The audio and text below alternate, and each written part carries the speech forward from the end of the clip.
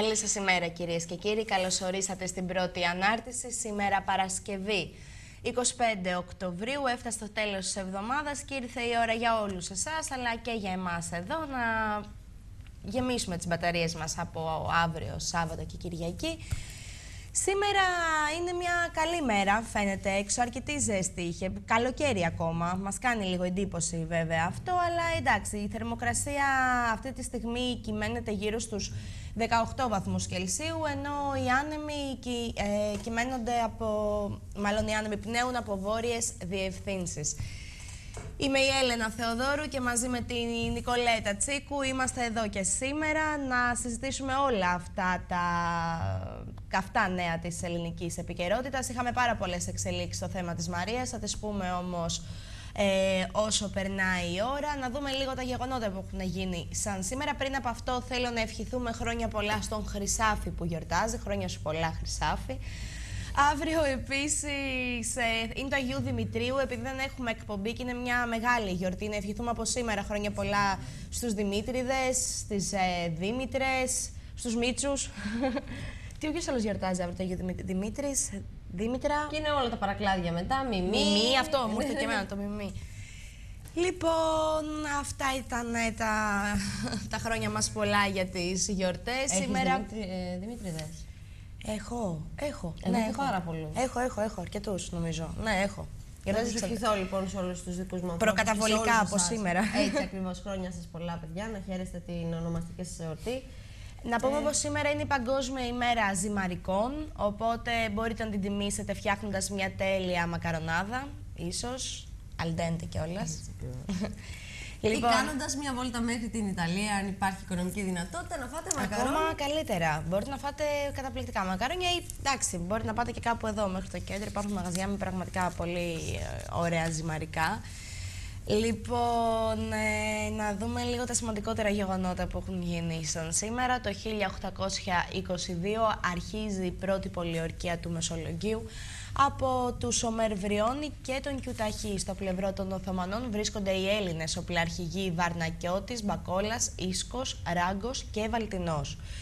Το 1922 η Ανακριτική Επιτροπή υπό τον ε, Θεόδωρο Πάγκαλο παραπέμπει με την κατηγορία της εσχάτης προδοσίας τον πρώην αρχιστράτηγο της στρατιάς της Μικράς Ασίας Γεώργιο Χατζιανέστη, τους πολιτικούς Δημήτριο Γούναρη, Νικόλαο Στράτο, τον Πέτρο Πρώτο Παπαδάκη, τον Νικόλαο Θεοτόκη, τον Γεώργιο Μπαλτατζή, τον υποστράτηγο Ξενοφόντα Στρατηγό και τον υπονάβαρχο Μιχαήλ Γούδα. Το 1925 δημοτικές εκλογές διεξάγονται στην Ελλάδα. Δήμαρχος Αθηναίων τότε εκλέγεται ο Σπυρίδων Πάτσης. Ο στη Πειραιός ο Τάκης Παναγιωτόπουλος και στη Θεσσαλονίκη ο, Μιν, ο Μινάς Πατρίκιος, ο οποίος είναι και ο πρώτος εκλεγμένος δήμαρχος της συμπρωτεύουσας. Λοιπόν, ε, σαν σήμερα το 1959 άρχισε και επίσημα το πρωτάθλημα της ε, πρώτης εθνικής ε, κατηγορίας στο ποδόσφαιρο. Θα πούμε ενδεικτικά μερικά αποτελέσματα της πρώτης αγωνιστικής. Ο ΠΑΟΚ με τον τότε Μέγα Αλέξανδρ, πλέον δεν υπάρχει, ε, είχε, ήταν 3-2, Πανιόνιος με νίκια 3-0, η Δόξα Δράμα με τον Άρη Θεσσαλονίκης 2-2. Ε, Πανκορινθιακός Ολυμπιακός 1-0 και Εθνικός ε, με ΑΕΚ 0-1. Αυτά ήταν κάποια ενδεικτικά αποτελέσματα από την αγωνιστική τότε. Λοιπόν, ε, να πάμε λίγο παρακάτω. Το 1962 ο Αμερικανός συγγραφέας Τζον Στάινμπεκ βραβεύεται με το Νόμπελ Λογοτεχνίας. Ενώ το 1983 1.800 Αμερικανοί πεζοναύτες υποστηριζόμενοι από 300 στρατιώτες αγγλόφωνων νήσων της Καραϊβικής εισβάλλουν στο νησί της Γρενάδας. Οι Αμερικανοί κατηγορούν την κυβέρνηση του μικροσκοπικού αυτού κράτους ότι επηρεάζεται από τους κοβανούς, κουβανούς και τους Σοβιετικούς.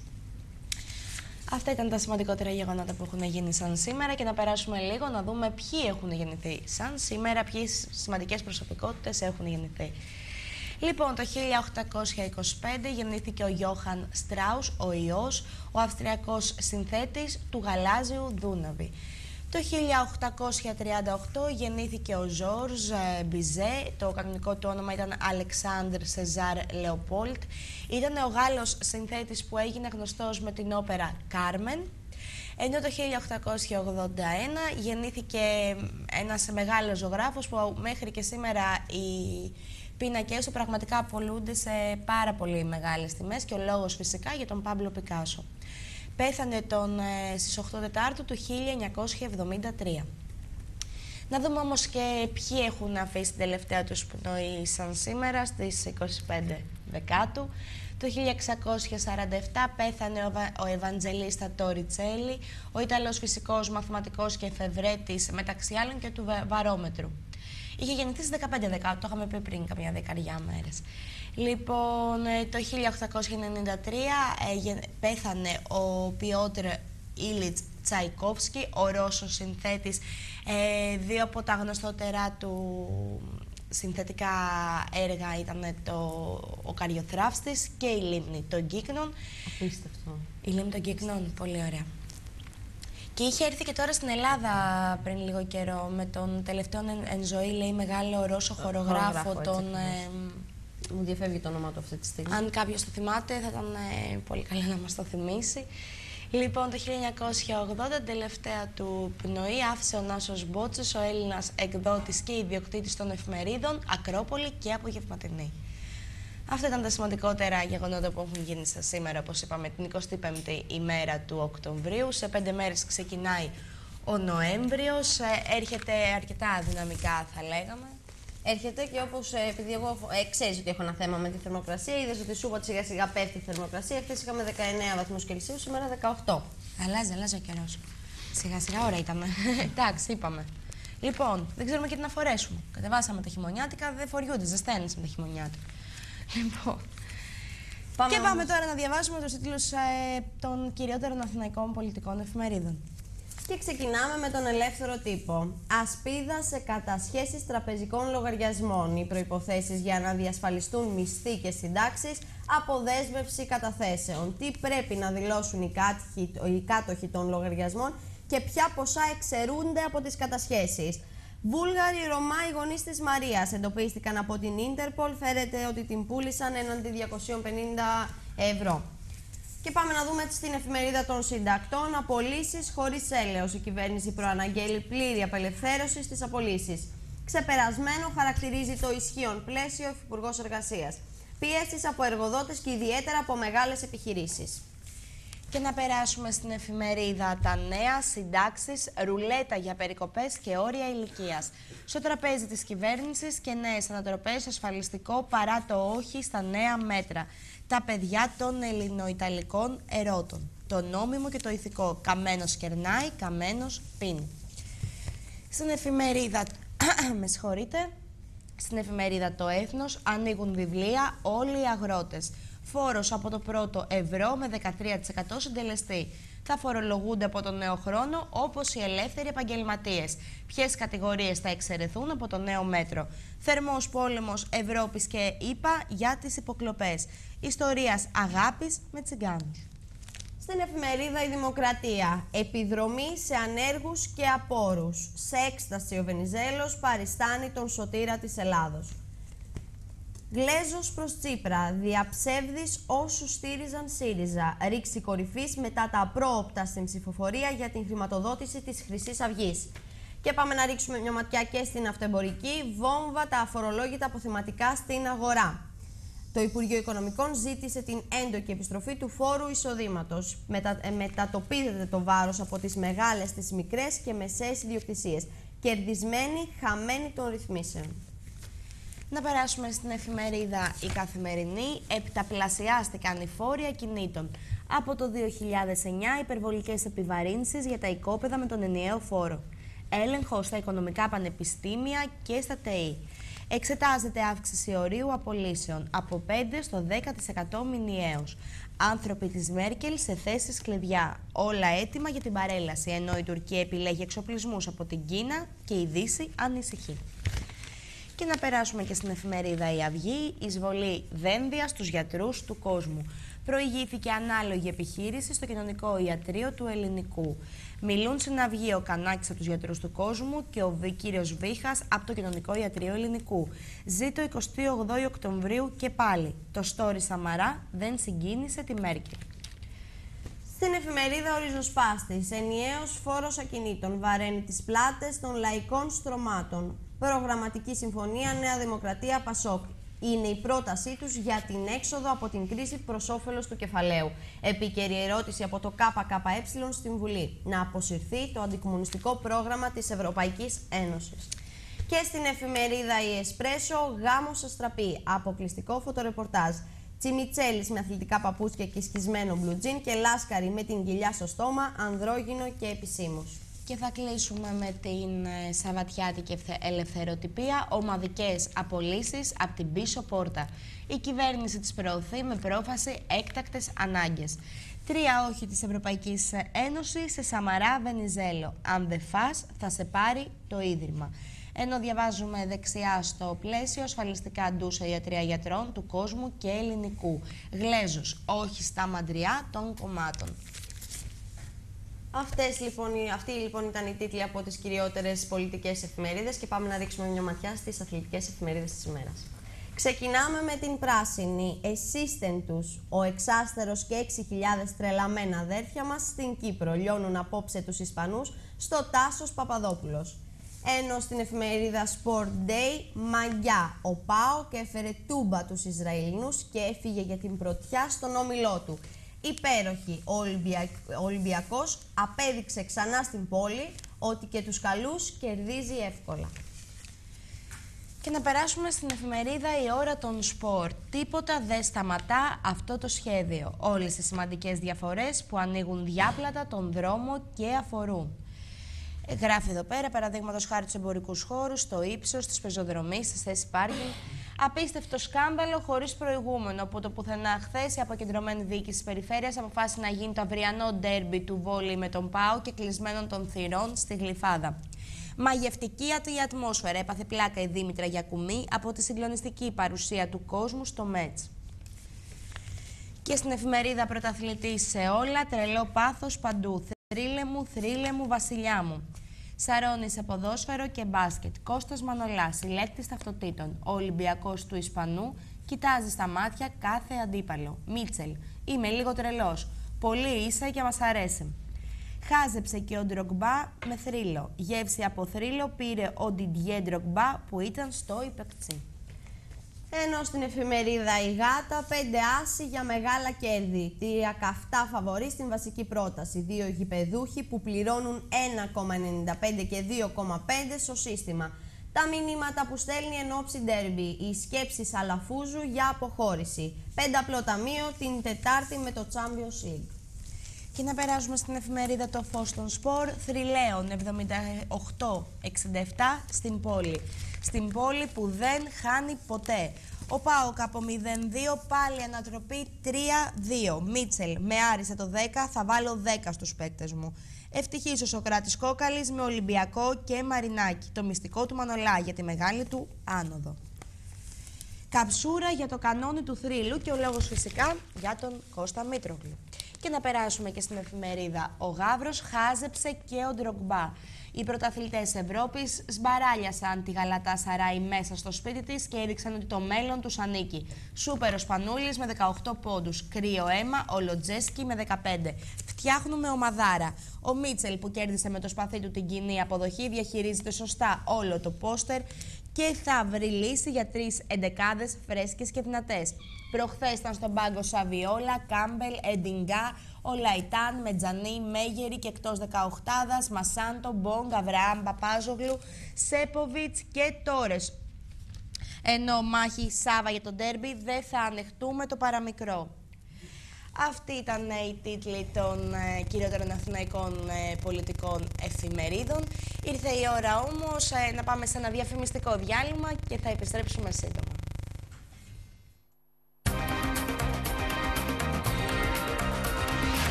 findforme.gr, ο επαγγελματικός κατάλογος επιχειρήσεων, προϊόντων, υπηρεσιών, η πλατφόρμα γενικών αγγελιών, το εργαλείο κατασκευής ιστοσελίδων. Διαφημίστε τα προϊόντα και τις υπηρεσίες σας. Εποφεληθείτε από τις καινοτόμες υπηρεσίες που προσφέρουμε, καθώς εάν μέχρι τώρα δεν έχετε αποκτήσει δική σας ιστοσελίδα, τώρα πλέον μπορείτε, μέσω της πλατφόρμας findforme.gr. findforme.gr, η νέα πολυκάναλη πλατφόρμα του ζούγκλα.gr. Ε, μικρή μου ζωή, πίστεψα σε σένα γιατί σου εσύ. Να τα λέει τα μάτια καρδιά. Να φτάνει μία και μόνο ματιά. Κάθε στιγμή που περνάει δεν ανήκει εδώ. Νιώθετε άβολα με το σώμα σας. Υποδεχτείτε την τεχνολογική επανάσταση στην καταπολέμηση της κυταρίτιδας. Νέο καλσόν Nanobionic Anti-Cellulline.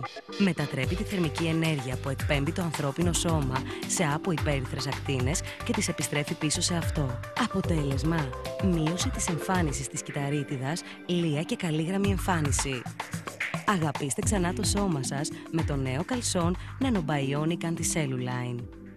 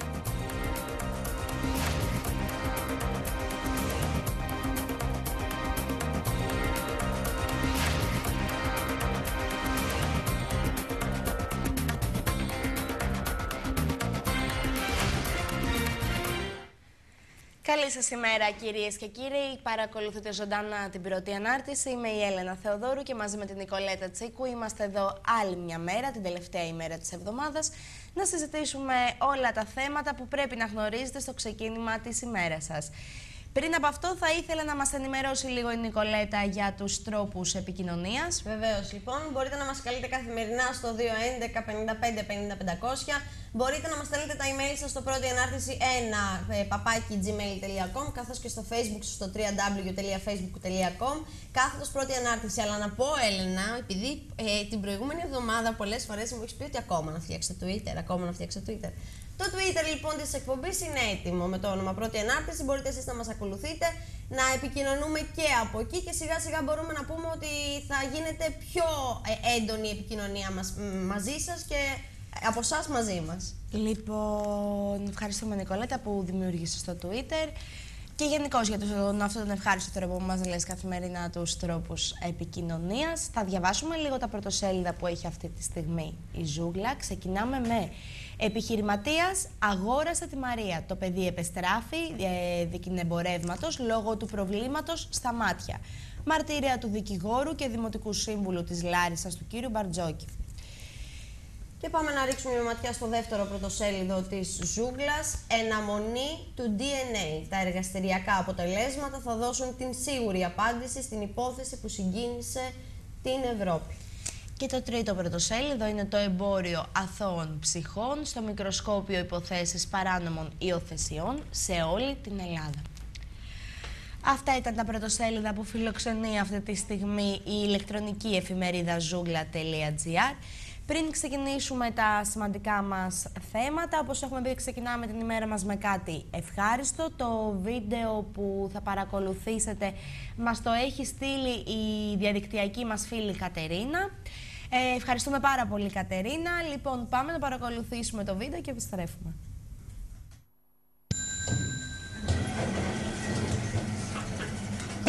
What's the buttons?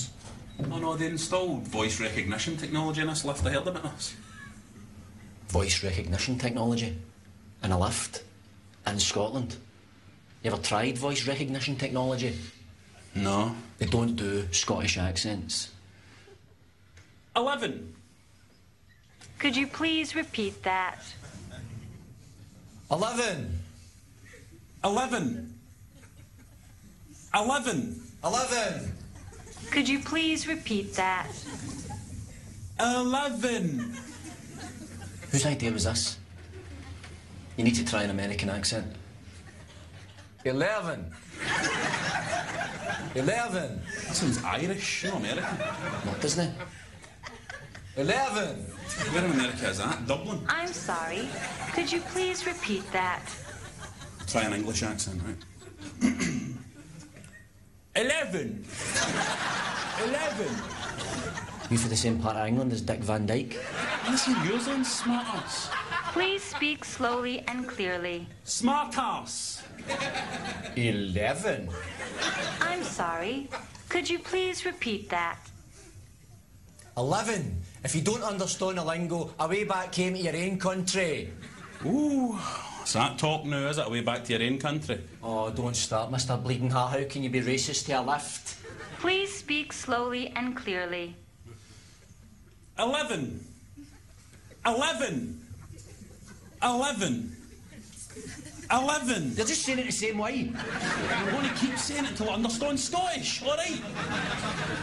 Eleven. Eleven. Eleven. Eleven. I'll just take us anywhere, you cow. Just open the doors. This is a voice activated elevator. Please state which floor you would like to go to in a clear and calm manner. Calm. Calm. Where's that coming from? Why is it telling people to be calm? Because they knew they'd be selling this to Scottish people who'd be going up for nut sitting. You have not selected a floor. Aye, we have. Eleven. If you would like to get out of the elevator without selecting a floor, simply say, Open the doors, please. Please. Please. Suck my wally. Maybe we should just say please. I'm not begging that for nothing.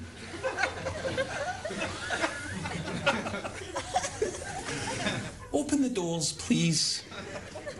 Please. Pathetic. Please remain calm. Oh, fine. I'll let you win up tonight. Get up there. Hey, just wait for it to speak. You have not selected a floor. Ah, Buells, you cow! You don't let us through these doors. I'm going to come to America. I'm going to find whatever desperate actress gave you a voice, and I'm going to go in an electric chair for you. Scotland, you bastard! Scotland! Scotland! Scotland! Freedom!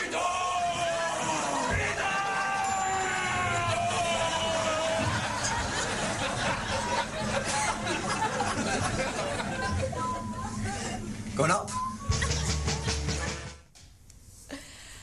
Πολύ ωραίο. Ευχαριστούμε Κατερίνα για το βίντεο που μας έστειλες. Ήταν πραγματικά... Γελάσαμε πάρα πολύ κατά τη διάρκεια που το παρακολουθούσαμε, λοιπόν. Δηλαδή να, να φαντάσουν να είναι ένας άνθρωπος ο οποίος έχει κλειστοφοβία, όπως έλεγε και ο, ο διευθυντής μας εδώ. Να μείνει εκεί μέσα και να μην μπορεί να κάνει τίποτα. Σε αυτή την περίπτωση, Εντάξει. να μην μπαίνετε σε τέτοια σανσέρ. Ναι, δεν έχουμε στην Ελλάδα τέτοια σανσέρ. Όχι. Και για πολλά χρόνια. Στην Ελλάδα νομίζω έχουμε να ακόμα αυτά τα παλιά τώρα. τα σανσέρ που χωράνε δύο με τρία άτομα. Ναι, έχεις δει αυτές τις πολυκατοικίες τις παλιές, δεκαετίες, ξέρω εγώ, 60, που μόλις έχουν ξεκινήσει τα σανσέρ να τα βάζουν, ας πούμε, στις πολυκατοικίες. Με τα σιδερένια. Και βλέπεις, ναι, ότι δεν χωράνε δύο άτομα με το ζόρι. Λοιπόν, ε, να πούμε ότι Υπάρχουν κάποια ζητήματα, όπως όλοι ξέρετε, που καθημερινά ε, απασχολούν όλο τον κόσμο και μιλάμε για τις εξελίξεις γύρω από τη Χρυσή Αυγή, μιλάμε για τα οικονομικά, τα εθνικά προβλήματα ε, και φυσικά το εάν γινόντουσαν εκλογές, τι θα ψηφίζατε. Έτσι λοιπόν ε, η Ζούγκλα κάνει ακόμα μία ανοιχτή ψηφοφορία και η οποία ξεκίνησε το βράδυ της Τετάρτης. Σκοπός της ψηφοφορίας αυτής είναι εν μέσω ραγδαίων εξελίξεων, τόσο σε κοινωνικό όσο και σε πολιτικό επίπεδο, είναι να καταγραφεί και να ανοιχνευτεί, πέραν των εντυπώσεων και των πρόχειρων συμπερασμάτων, η γνώμη των πολιτών γύρω από τα φλέγοντα θέματα της επικαιρότητας.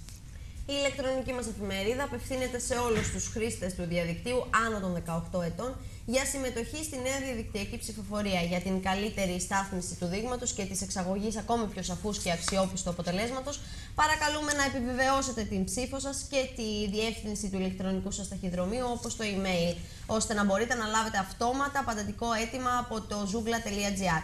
Τα αποτελέσματα της ψηφοφορίας θα σταθμιστούν σύμφωνα με τις τεχνικές προδιαγραφές από την ειδική ομάδα επιστημόνων με την οποία συνεργάζεται η Ζούγκλα. Και τώρα λοιπόν ήρθε η ώρα να μπούμε να δούμε λίγο το θέμα αυτό που απασχολεί τόσο πολύ την ε, ελληνική επικαιρότητα και μιλάμε για την ε, υπόθεση της Μαρίας και τις εξελίξεις. Ε, να πάμε...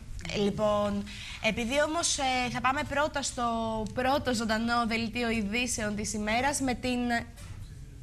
Με την Άννα Μορφούλη. Λοιπόν, πάμε στο πρώτο δελτίο ειδήσεων και επιστρέφουμε να συζητήσουμε όλα αυτά τα θέματα για τι εξελίξεις, κύριε Μπότη Μαρία. Mm.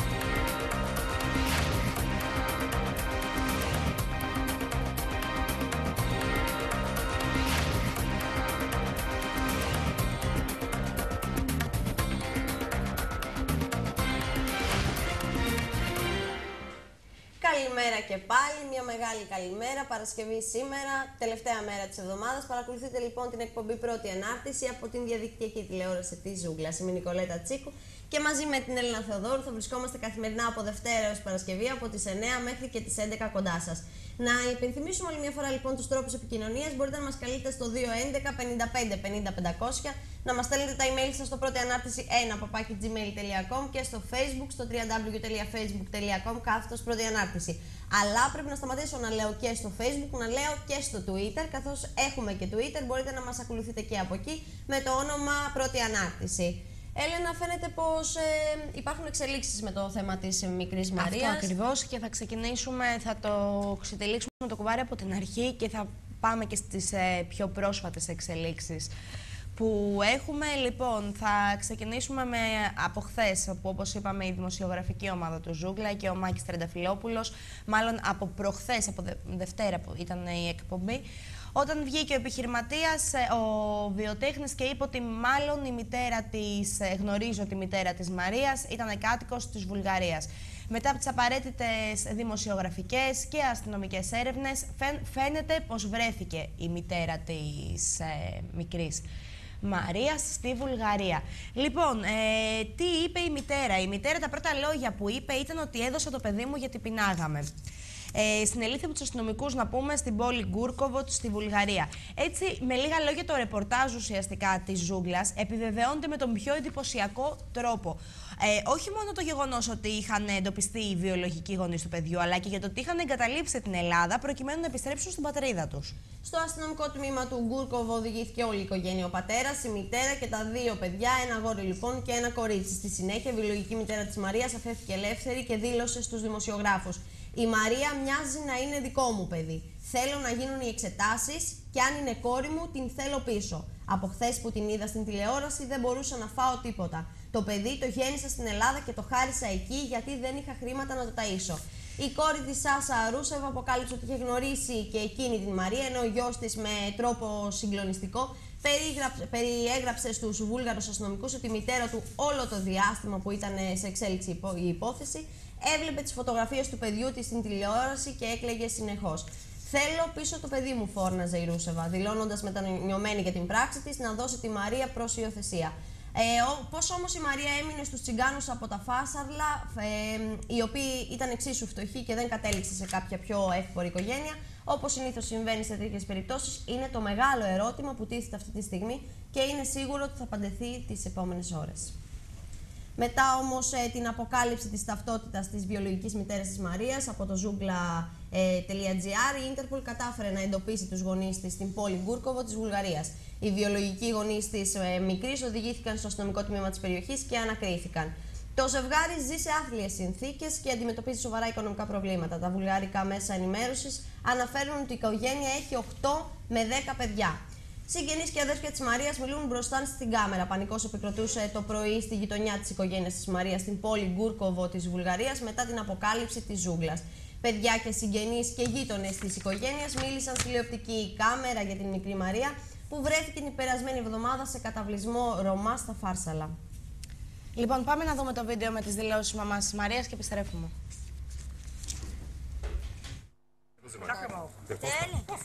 Не знам, моя ли не е моя. Откъде да знаем? Не знам, наш ли не Вашо ли? Какво, какво? Вие оставихте ли си дете в Гърция? Имате ли дете в Гърция? Имаме, подарахме без пари, не съм взимал пари, няма какво да го храня. И дъщеря ми е изчезнал на мъж, няма малките кой да гледа. Това дете прилича ли на вашето, което оставихте? Да. Еми, прилича, прилича, ама откъде да знам моя ли не е. От дома ще Познали го на телевизора, че е твоето Сашки, разплакала се. Вчера, вчера видях, сега болна, само от снощи не съм ял хляб. Така. Значи си го познала. Твоето ли е това или не е твоето? Как мислиш? Ама мила да взимате моите деца, дай къщата ми. Имам така много деца имам. Шест парчета. Къде остави? Къде остави Мария? Къде остави. Гърция. Го Иди къде? жена да гледа. Защото нямам храна, нямам Иначе работа да не гледам малкото. не може. Ама разкажи на коя жена я остави? Къде Откъде да познавам? 4 години става. Тя ли дойде при теб? На колко време бяхте в Гърция? В кое село бяхте? 10, 10, 10, 10, 10, 10, 10. Ако обичате, Николай! На колко го оставихте детето? На колко беше детето? На колко беше детето, бе? Добре, хайде. Условия в махлата, да не може. Да, сега ще ги запомня, ще ги оставя в тях.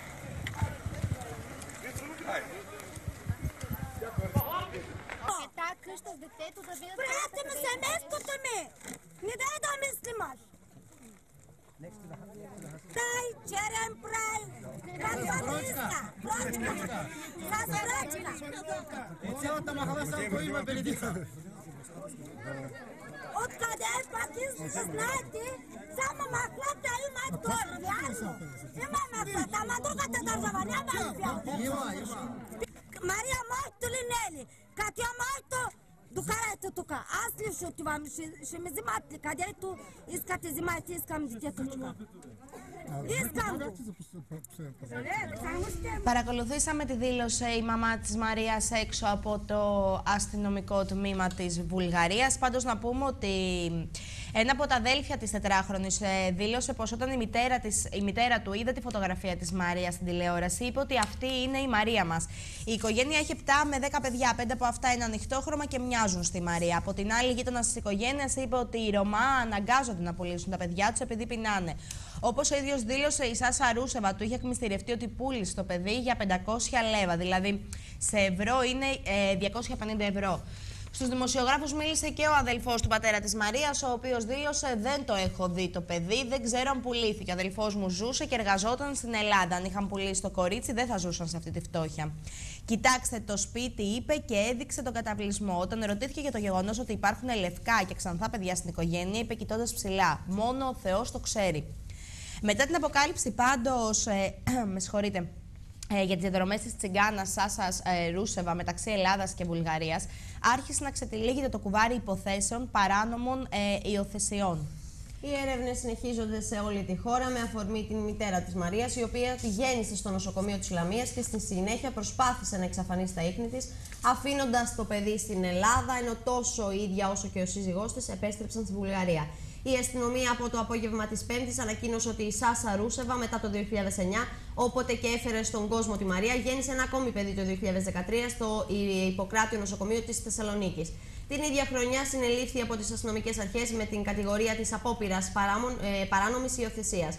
Ωστόσο, λίγες ώρες αργότερα η ελληνική αστυνομία αυτό αναιρέθηκε και επιβεβαίωσε μεν ότι την έρευνα τη συγκεκριμένη υπόθεση, ωστόσο ξεκάθαρισε ότι η σύλληψη αφορά σε άλλη Βουλγάρα που έφερε το πατρόνυμο Ζέλεβα. Το ίδιο ακριβώς με τη Σάσα Ρούστεβα, τη μητέρα της Μαρίας. Λοιπόν, ε, θέλω να πω πως ε, σήμερα πιθανότατα αναμένονται τα αποτελέσματα του τεστ DNA, το, από τα οποία θα διαπιστωθεί ε, εάν η Ρούσεβα είναι όντως η βιολογική μητέρα της Μαρίας και δεν πρόκειται για μια διαβολική σύμπτωση ε, και έχει ξεκινήσει ένα νέο θρύλος ουσιαστικά για παράνομες υποθέσεις παράνομες υποθέσεις υιοθεσιών, αλλά και για το πού βρίσκεται πραγματικά το παιδί της Βουλγάρας Ρωμά. Ιδιαίτερο, όπως είπες και εσύ τώρα, παρουσιάζει η περίπτωση μιας γυναίκας που ονομάζεται Ζέλεβα και σε ε, βάρος της οποίας εκκρεμεί ένταλμα σύλληψης ε, για απόπειρα παράνομης υιοθεσίας. Η Ζέλεβα το τον Ιανουάριο του 2013 γέννησε στο Ιπποκράτιο και λίγο μετά συνελήφθη για απόπειρα παρόνομη υιοθεσίας. Το παιδί μεταφέρθηκε στο Ίδρυμα Άγιος Τηλιανός και η μητέρα οδηγήθηκε στο δικαστήριο που και ορίστηκε ε, δικάσιμος. Ε, και αφέθηκε ελεύθερη. Λίγο μήνες μετά, όπως προέκυψε, η ίδια είχε δώσει παράνομο, παράνομο ένα από τα παιδιά της υιοθεσία το 9 και τον Απρίλιο εκδόθηκε το ένταλμα σύλληψης. Πάντως, να πούμε πως τα ξημερώματα της Πέμπτης στο zoogla.gr με το πρωτοσέλιδο ότι εντοπίσαμε την ε, μητέρα της Μαρίας αποκάλυπτε πραγματικά την ταυτότητα, τη, ταυτότητα και άρχισε να ξεδιπλώνει το κουβάρι της υπόθεσης. Να πούμε πως μέσα σε λίγες μόνο ώρες πραγματικά όλα τα ξένα δίκτυα, τα βρετανικά, τα αμερικανικά, τα τουρκικά, τα βουλγαρικά, ήρθαν σε επικοινωνία με το zoogla.gr και ανήρτησαν στις ηλεκτρονικές τους εκδόσεις το αποκαλυπτικό ρεπορτάζ. Ε, σε αυτό το σημείο θα ήθελα να τονίσω και να. Αν δεν σα σχολιάζουμε κιόλας, Νικολέτα, ότι στον αντίποδα πάλι τα ελληνικά μέσα μαζικής ενημέρωσης στην Ελλάδα, με μια λέξη που πραγματικά νομίζω τους χαρακτηρίζει, με, με μικροψυχία, ε, επέλεξαν να αποσιωπήσουν το θέμα και εν, συνεχεία απέκρυψαν την πραγματική πηγή της είδησης. Δηλαδή όταν όλος ο κόσμος, όλα τα παγκόσμια μέσα ε, ενημέρωσης είπαν ότι το θέμα το έβγαλε το zoogla.gr. Οι Έλληνες μέχρι και την τελευταία στιγμή, μέχρι τα δελτία που παρακολούθησα εγώ, ε, δεν αναφέρθηκαν πουθενά στο zoogla.gr. Δεν αναφέρθηκαν καθώς και όπως μπορείτε και εσείς να παρακολουθήσετε μέσα στο Web TV, ο Μάκης Τριανταφυλόπουλο έδωσε συνέντευξη σε βουλγάρικο μέσο. Ο άνθρωπος ο οποίος μίλησε στην εκπομπή του Μάκη Τριανταφυλόπουλου ήταν, είναι βιοτέχνης στην Βουλγαρία και έδωσε τις πληροφορίες που βοήθησε να ξετυλιχθεί το κουβάρι της υπόθεσης της μικρής Μαρίας. Έλενα, αυτά είναι, αυτές είναι επιλογές του κάθε μέσου θα έλεγα. Είναι κρίμα όμως, γιατί όπως όπως είναι Όπως όλοι ξέρουμε, τουλάχιστον εμείς προσωπικά εδώ πέρα το γνωρίζουμε. Πραγματικά η ομάδα, όλη η δημοσιογραφική ομάδα του Zoogla.gr ξενυχτάει πολλές φορές και δουλεύει πάρα πολύ σκληρά για να βγουν στον αέρα τέτοιου είδους ειδήσεις. Και πραγματικά θα έπρεπε να αποδοθεί η τιμή σε αυτά τα σε όλους αυτούς που βρίσκονται εδώ πέρα και είναι κρίμα. Λοιπόν, ε, φαίνεται όμως, Νικολέτα, πως άνοιξε και ξανά ο φάκελος της Μαντλίν. Της μικρής Μαντλίν. Η αστυνομία λοιπόν στην Πορτογαλία αποφάσισε να ανοίξει εκ νέου τον φάκελο Μαντλίν που αφορά την υπόθεση στην εξαφάνιση του μικρού κοριτσιού από τη Βρετανία που το 2007 εξαφανίστηκε μυστηριωδώς από το διαμέρισμα που παραθέριζε με τους γονείς της στην Πορτογαλία. Ο Γενικός Εισαγγελέας της χώρας ανέφερε ότι λόγω νέων αποδεικτικών στοιχείων που έρχονται στην επιφάνεια δικαιολογείται η συνέχιση της έρευνας. Οι γονείς της Μαντλίν Μακάν μετά την εξέλιξη αυτή δήλωσαν ότι ελπίζουν να, βρεθούν, να, βρεθούν, ε, να βρουν τις απαντήσεις που ζητούν απεγνωσμένα εδώ και πολλά χρόνια. Και αφού συζητήσαμε το πώς, ουσιαστικά είπαμε όπως είπαμε και πριν, αρχίζουμε και ξετυλίγουμε το κουβάρι. Αυτή ήταν η αρχή, το πώς ε, είπαμε, μάθαμε και εμείς και η δημοσιογραφική ομάδα του Ζούγκλα πρώτα από όλους ε, ποια είναι η βιολογική μητέρα, την ψάξανε, τη βρήκανε. Και Είμαστε σε αναμονή. Και ένα μπράβο στον βιοτέχνη που έδειξε την καλή δρόμο. και βοήθησε να βρεθούν. Σπάνια το κάνουν, Έλενα. Εντάξει, το κάνουν. Το κάνουν όταν. Δεν λόγω φόβου. Να σου πω κάτι, είναι καλύτερα να το, κάνουμε, να το κάνει ένας όταν όντως έχει λόγο να το κάνει. Γιατί πολλές φορές βγαίνουν, δίνουν, προσπαθούν βέβαια να βοηθήσουν, αλλά δεν είναι πάντα αληθινές οι πληροφορίες. Αληθινές όχι ότι έχουν τη διάθεση να πούν ψέματα, αλλά γιατί ίσως έχουν μπερδευτεί. Λοιπόν, τι θέλω, πού θέλω να καταλήξω ουσιαστικά. Ε, είδαμε όλες αυτές τις εξελίξεις. Όπως είπαμε, είμαστε σε όλη σε αναμονή να δούμε τα αποτελέσματα του DNA. Πάντως, εχθές το βράδυ στην εκπομπή Ζούγκλα του Μάκη Τρανταφυλόπουλου, ένας Έλληνας επιχειρηματίας από τη Λάρισα φέρεται να εμπλέκεται στην υπόθεση παράνομης υιοθεσίας της μικρής Μαρίας. Σύμφωνα με δήλωση που έκανε στην εκπομπή ε, ένας δικηγόρος και δημοτικός σύμβουλος της Λάρισας, ο Γιώργος Μπαρτζόκης, ο οποίος ήταν, φιλοξενήθηκε κιόλας και στην εκπομπή Ζούγκλα, ε, υπάρχει ένας επιχειρηματίας, ο οποίος δραστηριοποιείται στον τομέα του χάρτου, φέρεται να έχει πάρει την ανήλικη από το ζευγάρι Ρωμά και την επέστρεψε λόγω του προβλήματος ε, του στραβισμού που είχε στα μάτια της, που αντιμετώπιζε με τα ματάκια της. Λοιπόν, η δήλωση ουσιαστικά που έκανε ο κύριος Μπαρτζόκης ήταν το παιδί κατέληξε στην επιχειρηματία. Ε, μάλλον το παιδί κατέληξε στην επιχειρηματία στηρίζεται στο ότι του εκμυστηρεύτηκε πελάτης του, ο οποίος ήταν παρόν σε συναλλαγή. Εάν όντως έτσι έχουν τα πράγματα, τότε επαναλαμβάνεται το γνωστό, ας το λέγαμε, μοτίβο της ελληνικής κοινωνίας, σύμφωνα με το οποίο όλοι γνώριζαν, αλλά κανένας δεν μιλούσε. Πάμε να δούμε λίγο το απόσπασμα από την ε, χθεσινοβραδινή εκπομπή του Μάκη Τριανταφυλόπουλου και επιστρέφουμε. Ε, Πείτε λοιπόν αυτό που θέλετε να πείτε τώρα, γιατί ήσασταν έτοιμος να το πείτε, σας φρενάρουν 10 φορές και δεν το λέτε. Γνωρίζει πράγματα ο άνθρωπος, προσπαθεί να είναι αξιόπιστος. Γι' αυτό. Εγώ κύριε Τρεταφυλόπουλε, πέστε από ένα πείσμα ή πέστε από την προσφορά κοινωνικής προσφοράς που να έχουμε όλοι οι πολίτες ε, αυτό το, από αυτό το τυχαίο γεγονός έβγαλα κάτι συμπεράσματα και έκανα μια δικιά μου έρευνα αυτές τις μέρες. Και διαπίστωσα με μαρτυρίες, οι οποίε θα βεβαιωθούν αυτές πιστεύω. Ότι αν μιλάμε βέβαια για το ίδιο παιδί, γιατί η μαρτυρία ήταν ότι ήταν ένα παιδί ξανθό σε ένα σπίτι, εκεί στον οικισμό των ε, Τσιγκάνων στα Φάρσαλα και υπόθηκε εκεί μέσα ότι υιοθετήθηκε από έναν επιχείρημα. Ότι ναι μεν το δώσανε Βούλγαροι, ε, Ρωμά, θα δούμε μετά αν και είναι βιολογική ή όχι μητέρα. Το παιδί το πήρε ένας επιχειρηματίας των Φαρσάλων προκειμένου να το εξετάσει στα απαραίτητες ιατρικές εξετάσεις για να το υιοθετήσει παράνομα. Μη Ρωμά. Μη Ρωμά. Επιχειρηματίας. Νομίζω ασχολείται με θέματα που αφορούν ε, χαρτικές ύλες, κάτι τέτοιο. Νομίζω. Δεν ξέρουμε ονόματα. Μάλιστα. Ε, το παιδί το εξέτασε και βρέθηκε ότι υπήρχε αυτό το πρόβλημα του στραβισμού. Και επεστράφει πίσω, Μάκη. Το πακέτο. Ακριβώς. Το κομμάτι που λέει η Βουλγάρα εδώ πέρα. Επεστράφει το παιδί πίσω. Σαν να τηλεόραση δηλαδή που δεν ήταν κάτι έλλειπε. Ακριβώς. Και παρέμεινε στην οικογένεια αυτή. Το σημαντικό όμως κύριε Μάκη... Την πληροφορία αυτή μου την έχει δώσει εδώ και δύο μέρες από έναν πελάτη του ε, που, ε, εν πάση περιπτώσει, τώρα αυτή τη στιγμή βρίσκεται σε δύσκολη θέση.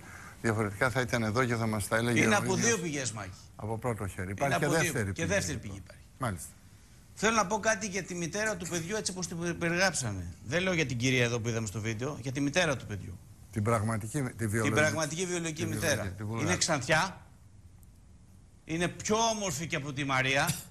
Αυτές είναι οι δικές μου πληροφορίες. Και ήταν στην περιοχή των Φαρσάλων των Σοφάδων, σκόπελος, σκιάθο και γλώσσα και έκανε ένα επάγγελμα, το αρχαιότερο επάγγελμα ε, που υπήρχε στην ανθρωπότητα. Μάλιστα. Λυπάμαι που το λέω, είναι από δύο πηγές. Μάλιστα. Προφανώς Δεν είναι... λέω τίποτα για την κυρία, προσέξτε. Προφανώς να είναι αυτό που επικαλείται το Υπουργείο Εσωτερικών της Βουλγαρίας για την κυρία από την Πάτρα, η οποία αναγνώρισε και τώρα που το είδα το βίντεο πάλι, μα γι' αυτό και είπα στην αρχή, δεν μου προσημιάζει αυτό το, τα, αυτά τα τρία παιδιά μάλλον. Μιλάμε για τρία παιδιά, που οποία πρέπει να είναι αδερφάκια αυτά. Τα αδέρφια της Μαρίας, τα δύο και η Μαρία. Δεν μου μοιάζουν, αν βάλετε συγκριτικά τη φωτογραφία, με το άλλο παιδί, το κορίτσι και τη μητέρα. Δεν μου προσφεδιάζει εμένα ότι μπορεί να είναι. Βέβαια, αυτό το κρίνουν ανθρωπολόγοι. Το DNA, αν γίνει σωστά, βέβαια, πιστεύω θα γίνει σωστά. Και τώρα μετά από αυτή την πληροφορία τη συνταρακτική που είπες ότι υπάρχει Βουλγάρα στην Πάντρα, οι πληροφορίε μου ήταν ότι η μητέρα. Να, δείτε το αδερφάκι της τώρα, το αγοράκι, το οποίο είναι κατάξανθο γι' αυτό. Και... Αυτό μοιάζει, ναι, είναι αυτό που είπε σκανδιναβικού τύπου που είπες. Στο DNA πάντως δεν υπάρχει καμία αμφιβολία κύριε Φιλόπουλο ότι θα δώσει ένα αποτέλεσμα σαφές. Και θα πει αν θα γίνει σωστό. Πρέπει να. Ακούσαμε και την καταγγελία που έκανε ο κύριος Μπαρτζόκης. Πάντως να πούμε ότι είναι άγνωστο για πόσο χρονικό διάστημα ουσιαστικά παρέμεινε το παιδί στα χέρια των λόγω επιχειρηματία και κάτω από ποιες συνθήκες, έτσι.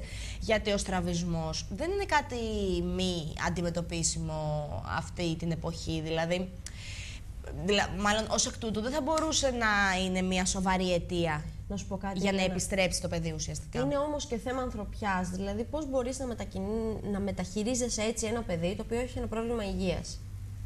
Και ένας ξένος, ένας άνθρωπος ο οποίος δεν έχει καμία σχέση ε, συγγενικά με ένα πρόσωπο, με ένα παιδί, πρέπει να είναι εκεί όταν παίρνεις το θάρρος να το κρατήσεις και να το μεγαλώσεις. Τι πάει να πει, επειδή έχει ένα πρόβλημα υγείας, άντε το δίνω τώρα, επειδή. Τι είναι. Είναι κρίμα, είναι κρίμα αυτές οι μεταχειρήσει. Είναι πάρα πολύ κρίμα.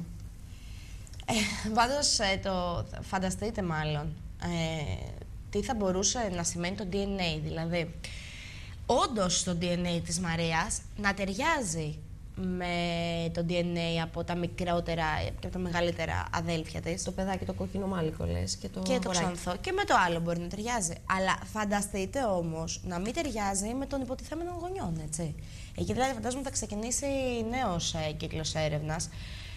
Πάντως, να... εχθές διάβασα κάτι πάρα πολύ πετυχημένο, δεν το θυμάμαι καλά. Λέει, εάν κάποιος λέει είναι αυτός που φταίει ε, για το ότι γεννιούνται ξανθά τα παιδάκια των Ρωμά, αυτός είναι ο Γκλέτσος, που είχε πάει στους ψήθυρους της καρδιάς. Ωραία. Λοιπόν, ε, να αλλάξουμε όμως λίγο θέμα. Ε, υπάρχουν ε, οι εξελίξεις όλο ένα και θα, θα, μάλλον θα υπάρχουν συνεχώς καινούργιες εξελίξεις πάνω σε αυτό το θέμα. Φαίνεται πως, όπως έχουμε πει και το ξαναλέμε, πραγματικά έχει ανοίξει ο ισκός του όλου αυτή τη μικρή, με τη μικρή Μαρία και την υπόθεσή της. Να πάμε όμως σε ένα άλλο γεγονός το οποίο θα συμβεί σε λίγες μέρες και ο λόγος φυσικά για την πα- παρέλαση της ε, 28ης Οκτωβρίου. Να πούμε πως θα είναι δρακόντια τα μέτρα ασφαλείας στη στρατιωτική παρέλασης στη Θεσσαλονίκη που θα πραγματοποιηθεί στη λεωφόρο Μεγάλο Αλεξάνδρου παρουσία του, προ, του Προέδρου της Δημοκρατίας Κάρολου Παπούλια, του Υπουργού Εθνικής Άμυνας Δημήτρη Αβραμόπουλου και άλλων επισήμων. Όπως επισημαίνεται από τη Γενική Αστυνομική Διεύθυνση Θεσσαλονίκης για λόγους ασφαλείας, το τμήμα της Λεωφόρου Μεγάλου Αλεξάνδρου από τη συμβολή της με, την οδού- με την οδό Αγίου Σεραφείμ μέχρι τη συμβολή της με την οδό Αθανασίου Διάκου θα παραμείνει κλειστό για το κοινό. Επιπλέον από τις 3 τα ξημερώματα της 28ης Οκτωβρίου και μέχρι την ολοκλήρωση της παρέλασης απαγορεύεται η στάση και η στάθμευση καθώς και η κυκλο- η κυκλοφορία όλων των οχημάτων στην οδό Λεωφόρο Μεγάλου Αλεξάνδρου, στην οδό Αγι- ε, Γεωργίου Παπανδρέου, να πούμε στην οδό Βασιλέως Γεωργίου, στην, λέμε κάποιους από αυτές, Ελένα, στη Μάρκου Μπότσαρη, στην Καραϊσκάκη, στην Καλλιδοπούλου, στην 25η Μαρτίου, στην Συνδίκα, στην Παρασκευοπούλου, στην Χατζή, στην ε, Στρατηγού Κανάβου, στην Παύλου Μελά, από την πλατεία λοιπόν του Πύργου μέχρι και την Τσιμισκή, στην, ε, στην Σουλιώτη. Επίσης, να πούμε ότι από τις 3 το μεσημέρι της 25η Οκτω, ε, Οκτωβρίου και μέχρι τις 3 ε, της 28η θα απαγορεύεται η στάση και η στάθμευση όλων των οχημάτων στην οδό της Αγίας Τριάδος, στο τμήμα της από τη λεωφόρου Μεγάλου Αλεξάνδρου μέχρι και την οδό Βασιλέως Γεωργίου. Αυξημένα όμως τα μέτρα της τροχέας θα είναι και Έλενα την 28η Οκτωβρίου. Καθώς ε, τι ακριβώς θα γίνει Έλενα; Οι βασικοί άξονες ουσιαστικά του σχεδιασμού προβλέπουν αυξημένη τροχονομική αστυνόμευση του οδικού δικτύου σε τομείς με βάση ιδιαίτερες κυκλοφοριακέ συνθήκες κάθε περιοχής, ενισχυμένη ε, αστυνομική παρουσία και αστυνόμευση των σημείων του οδικού δικτύου που παρατηρείται συχνότητα πρόκλησης τροχαίων ατυχημάτων, ρύθμιση της κυκλοφορίας με πεζούς τροχονόμους σε βασικές διασταυρώσεις για την αποφυγή κυκλοφοριακής συμφόρησης. Ένα Νικολέτα. Αυξημένα λοιπόν τα μέτρα της, οχε... της τροχέας στις εισόδους και στις εξόδους των μεγάλων αστικών ε, κέντρων, όπου παρατηρείται μεγάλη κίνηση οχημάτων. Ε, αυξημένα μέτρα της τροχέας σε χώρους όπου παρατηρείται μαζική διακίνηση επιβατών, αεροδρόμια, λιμάνια, σταθμοί κτλ. Κυκλοφοριακές όμως ρυθμίσεις σε περιοχές που θα πραγματοποιηθούν εργο- ε, εορταστικέ εκδηλώσεις. Παρουσία τροχονόμου στους σταθμούς διοδίων της χώρας για τη διευκόλυνση της κυκλοφορίας ε, ε, και την ενημέρωση για την παροχή συμβούλων στους οδηγούς και στους συνεπιβάτες. Συγκρότηση συνεργείων γενικών και ειδικών τροχονόμων ελεγκτών, ιδιαίτερα για την βεβαίωση επικίνδυνων παραβάσεων, όπως υπερβολική ταχύτητα, οδήγηση υπή την επίρρεια αλκοόλ, ε, αντικανονικό προσπέρασμα κτλ. Καθώς και παραβάσεων που βάσει στατιστικών στοιχείων ευθύνονται για την πρόκληση σοβαρών ατυχημάτων, όπως η χρήση κινητών τηλεφώνων κατά την οδήγηση. Πάντως, επιπλέον, ε, σε όλη τη διάρκεια εφαρμογής των μέτρων θα βρίσκονται σε αυξημένη επιχειρησιακή ετοιμότητα τόσο το προσωπικό όσο και όλα τα μέσα της ελληνικής αστυνομίας, κυρίως των υπηρεσιών τροχέα. Σημειώνεται ότι κατά την εορταστική περίοδο θα ισχύουν ε, οι απαγορεύσεις κίνησης φορτηγών αυτοκινήτων ωφέλιμου φορτίου άνω του, άνω του 1,5 τόνου ως εξής. Ε, την Παρασκευή 25 Δεκάτου από τις, από τις 4 το μεσημέρι έως και τις 9 το βράδυ. Το Σάββατο 26 Δεκάτου από τις 8 το πρωί έως και τη 1 το μεσημέρι, ενώ τη Δευτέρα 28 Δεκάτου από τις 3 έως και τις 9 το βράδυ. Και να περάσουμε σε ένα άλλο θέμα που το είχαμε συζητήσει αρκετά, το είχαμε μάλλον αναφέρει λίγο πιο παλιά, ήταν προσψήφιση ακόμα αυτό το νομοσχέδιο στη Βουλή. Αυτή τη φορά όμως φαίνεται πως δεκτό κατά πλειοψηφία επί των άρθρων και των τροπολογιών έγινε από την Ολομέλεια της Βουλής στο νομοσχέδιο του Υπουργείου Δικαιοσύνης για την ηλεκτρονική παρακολούθηση κατάδικων και υπόδικων. Και μιλάμε για το γνωστό βραχιολάκι που το έχουν φορέσει πάρα πολύ διάσημοι στον κόσμο. Λοιπόν, στο επίκεντρο των επικρίσεων της αντιπολίτευσης, παρά τις βελτιωτικές αλλαγές, οποίες προχώρησε ο Υπουργός Δικαιοσύνης Χαράλαμπος Αφανασίου, βρέθηκε και σήμερα η επίμαχη τροπολογία, η οποία προέβλεπε την επιβολή ποινής τουλάχιστον μέχρι 6 μήνες για όσους παραβιάζουν ή προσβάλλουν αποφάσεις του Συμβουλίου Ασφαλείας του ΟΗΕ ή κανονισμούς της Ευρωπαϊκής Ένωσης που αφορούν κράτη, οργανισμούς ή οντότητες. Η απάλληψη από τον Υπουργό Δικαιοσύνης αναφοράς Υπουργή η αποφάση του Συμβουλίου Ασφαλείας και η επιβολή ποινής μόνο σε ό,τι αφορά παραβίαση κανονισμών της Ευρωπαϊκής Ένωσης, καθώς και η, διαβέβαι, η διαβεβαίωση ότι θα γίνει παρέμβαση σε περίπτωση που στην πορεία δημιουργηθούν προβλήματα που θα βλάπτουν αξιακά θέματα. Δεν έπεισαν τους βουλευτές του ΣΥΡΙΖΑ, των Εξαρτήτων Ελλήνων, τη Χρυσή Αυγή και το ΚΚΕ, που επέμεινε στην απόσυρσή της. Όπως ανέφερε πάντως ο κύριος Αθανασίου, μετά τις ενστάσεις και τις επισημάνσεις πολλών βουλευτών, τον προβλημάτισε έντονα η σχετική τροπολογία, γι' αυτό και επικοινώνησε με συναδέλφους που βρίσκονται στη μόνιμη αντιπροσωπεία του ΟΗΕ και αφού συζήτησε το θέμα, προχώρησε σε αυτήν την βελτιωτική αλλαγή, προκειμένου, όπως είπε, να μην υπάρχει καμία αμφιβολία για τον σκοπό της ρύθμισης, ούτε παρερμηνία για ποιες περιπτώσεις επιβάλλονται οι ποινές. Νωρίτερα, η κοινοβουλευτική εκπρόσωπος του ΠΑΣΟΚ, κυρία Τζακρή, τόνισε την ανάγκη απαραίτητων ε, αποσαφηνήσεων και ενδελεχούς εξέτασης της διάταξης για να αποτραπεί, όπως επισήμανε, ενδεχόμενο να ανοίξει η κερδόπορτα ποινικοποίησης της πολιτικής δράσης. Ουσιαστικά, ποινικοποιείται η διαμαρτυρία και η ελευθερία έκφρασης, ποινικοποιείται η κινηματική δράση και η έκφραση ε, συμπαράστασης και αλληλεγγύης απελευθερωτικών αγώνων. Υπογράμμισε μεταξύ άλλων η συγγήτρια του ΣΥΡΙΖΑ Βασιλική Κατριβάνου για προκλητική διάταξη που κατεργεί κάθε έννοια εθνικής κυριαρχίας, ποινικοποιεί απόψεις και ιδεολογίες, έκανε λόγο ο εισηγητής της Χρυσής Αυγής, Πολύδιος Ζησιμόπουλος. Ενώ από το ΚΚΕ να πούμε ότι τόσο ο εισηγητής Γιάννης Γκιόκας, όσο και ο κοινοβουλευτικός του εκπρόσωπος Θανάσης Παφίλης ζήτησαν την απόσυρση της τροπολογίας, έστω και αργά, υποστηρίζοντας ότι ο στόχος των αποφάσεων της Ευρωπαϊκής Ένωσης είναι να χαρακτηριστούν οργανώσεις, κινήματα και κόμματα, τρομοκρατικές οργανώσεις και να μπουν στο ίδιο τσουβάλι με την Αλκάιντα.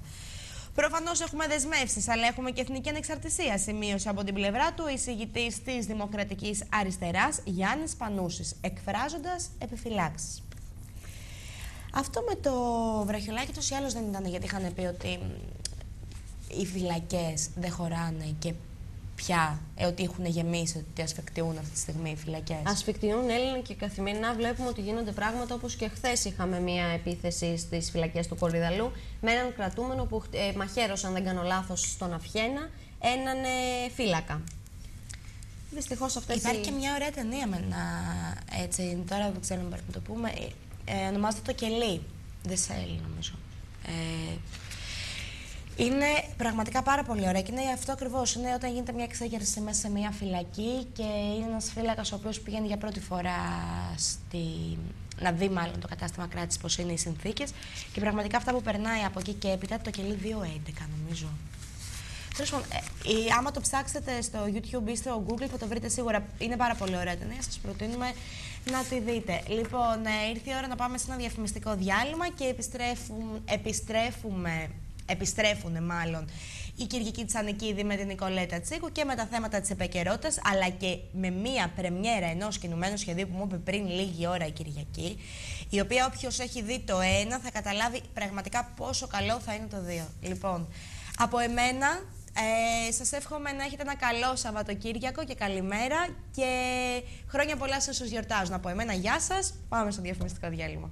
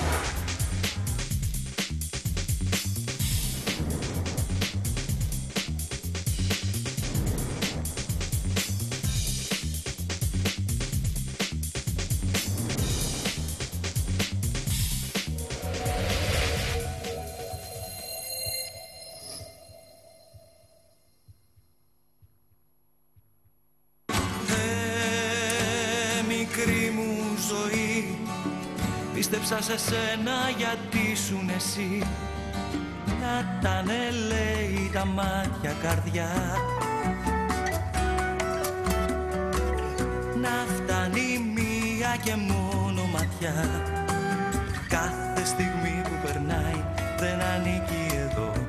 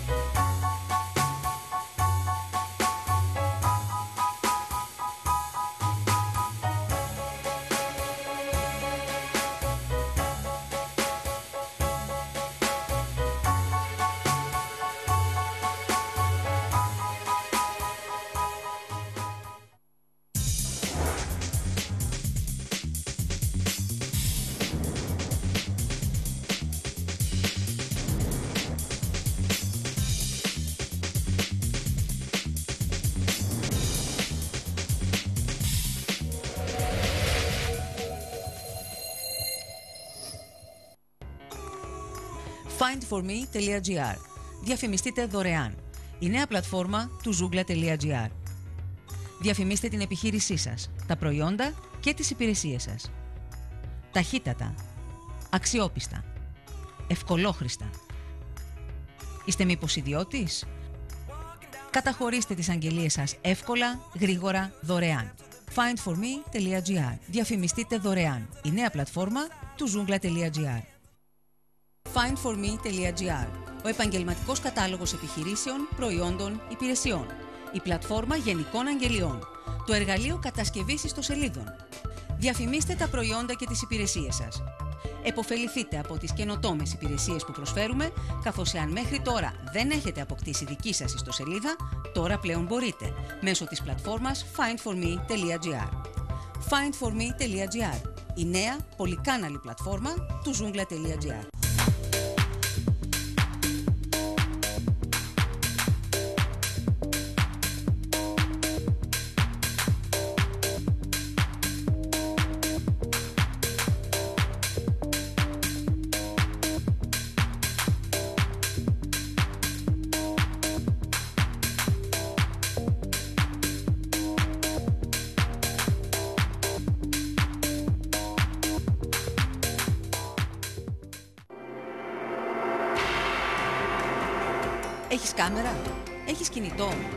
έχεις υπολογιστή, έχεις ιδέες; Κάνε τις ιδέες σου, τη ζωή σου, τη ζωή γύρω σου, ταινία, ντοκιμαντέρ, κομμωδία ή δράμα. Ψάξε, κατάγραψε, αποκάλυψε, εκφράσου. Μίλησε για όλους και για όλα, χωρίς λογοκρισία. Για την πολιτική, τον πολιτισμό, τις αγωνίες και τους προβληματισμούς σου. Για τον έρωτα, την ομορφιά και τις σχέσεις των ανθρώπων. Για τα στραβά και ανάποδα. Κάνω σινεμά στο δικό σας κανάλι. Κάντε τη δική σας ταινία. Ε, μικρή μου ζωή Πίστεψα σε σένα γιατί ήσουν εσύ Να τα λέει τα μάτια καρδιά Να φτάνει μία και μόνο ματιά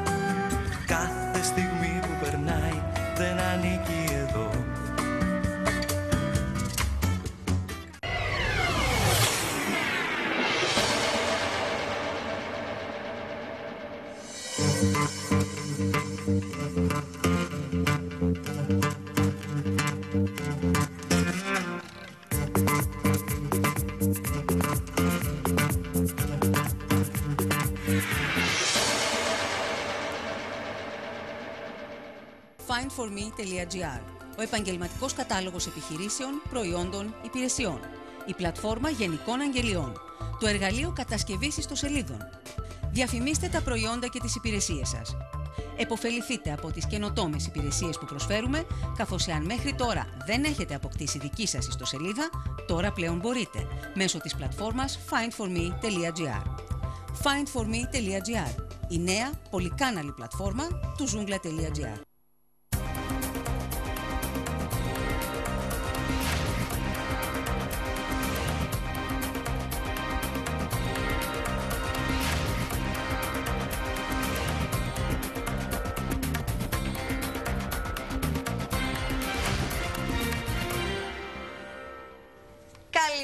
και πάλι. Καλημέρα. Την τελευταία καλημέρα θα σας πούμε της ημέρας. Είμαι η Νικολέτα Τσίκου. Αρχικά να σας πω ότι παρακολουθείτε την εκπομπή πρώτη ανάρτηση από την διαδικτυακή τηλεόραση της Ζούγκλας. 20 λεπτάκια πριν από τις 11, πριν σας πούμε το καλό Σαββατοκύριακο από εμάς. Είμαι η Νικολέτα Τσίκου και μαζί με την Κυριακή Τσανικίδη θα είμαστε για 20 λεπτάκια ακόμα κοντά σας. Κυριακή, να, πούμε, να πάμε αρχικά, πριν πάμε στα θέματα σου Κυριακή, να πάμε στον πύργο, όπου ένας 17χρονος μαθητής ε, συνελήφθη στον πύργο, καθώς σύμφωνα με την αστυνομία κατασκεύασε και πέταξε στα ξημερώματα της Τετάρτης μέσα στο σχολείο του έναν αυτοσχέδιο εκρηκτικό μηχανισμό. Όπως αναφέρει η αστυνομία, ο ανήλικος μαθητής, αφού αξιοποίησε πληροφορίες από το διαδίκτυο, κατασκεύασε έναν πρόχειρο αυτοσχέδιο εκρηκτικό μηχανισμό και αφού τον πυροδότησε, τον έριξε στο ανοιχτό παράθυρο στην ισόγεια αίθουσα του σχολείου του.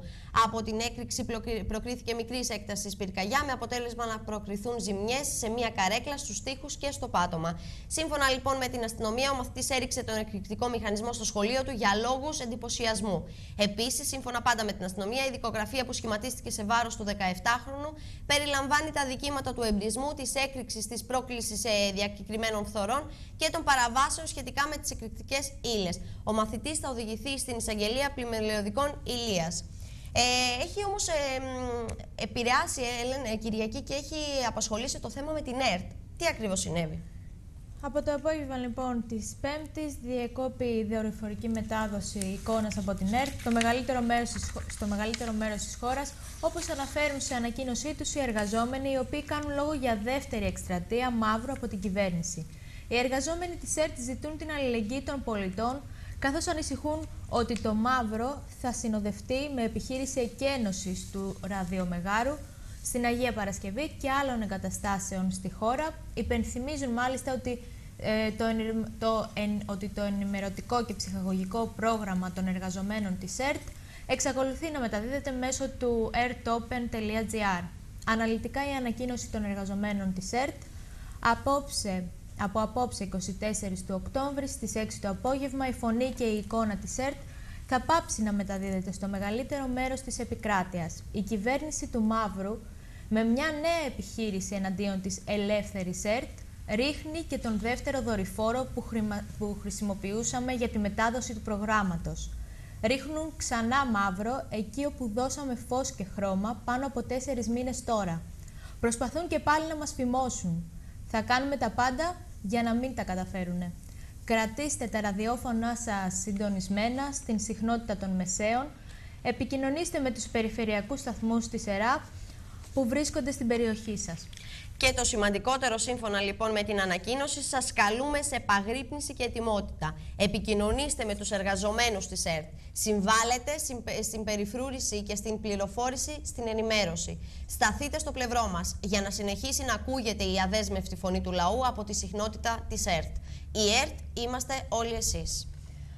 Αγωνιζόμενοι, εργαζόμενοι, της ΕΡΤ. Ε, Έλεν, ε, Κυριακή, συντονιστείτε με το european.com, το thespressproject.com, αλλά και με όποιο άλλο ιστότοπο προσφέρει το τηλεοπτικό και ραδιοφωνικό πρόγραμμα της ελεύθερης ραδιοφωνίας, τηλεόρασης διαδικτυακά.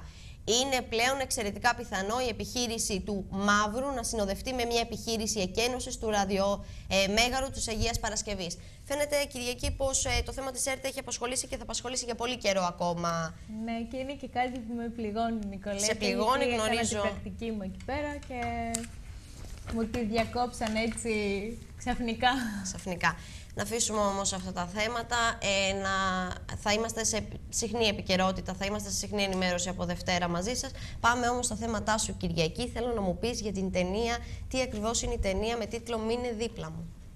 Είναι λοιπόν αμερικανική ταινία με σκηνοθεσία David Lowery με, τους πρωτα... με πρωταγωνιστές τους Casey Affleck, Rooney Mara, Ben Foster, Keith Carradine. Ε, η υπόθεση έχει ως εξής. Ο Bob είναι ένας φιλόδοξος πλην πάμπτωχος νεαρός που ζει σε μια εξίσου πάμπτωχη και βρώμικη κομμόπολη χαμένη στις αχανείς παιδιάδες του Τέξας. Το μόνο ενδιαφέρον που συμβαίνει στη ζωή του είναι ο βαθύς και μέχρι τέλους έρωτάς του για την υπέροχη Ruth. Μαζί θα αποφασίσουν να κάνουν μια ληστεία μελία ενός διόλου ευκαταφρόνητου ποσού. Ε, σύντομα όμως θα, εντοπίσουν, θα εντοπιστούν από την τοπική αστυνομία και η αμα- αμυνόμενη Ruth θα πυροβολήσει και θα τραυματίσει τον νεαρό αστυνομικό Πάτρικ. Οι δύο νέοι θα πέσουν στα χέρια της αστυνομίας, μα ο Μπομπ υποτικά βέβαια θα αναλάβει εκείνος όλη την ευθύνη για τη ληστεία και τον πυροβολισμό. Η Ruth έγκυος θα αφαιθεί ελεύθερη. Τέσσερα χρόνια όμως μετά ο Μπομπ ε, δραπετεύει και προσπαθεί να επιστρέψει και πάλι στην οικογένειά του και στη μικρή του κόρη, την οποία δεν είχε δει και ποτέ. Εκεί όμως τον περιμένουν εχθροί, φίλοι και ο τοπικός σερίφης. Πάμε όμως να δούμε και το τρέιλερ και επιστρέφουμε.